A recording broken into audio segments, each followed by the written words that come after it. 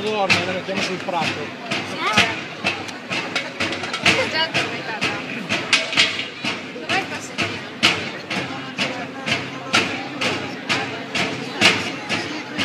Se, se il passeggino così.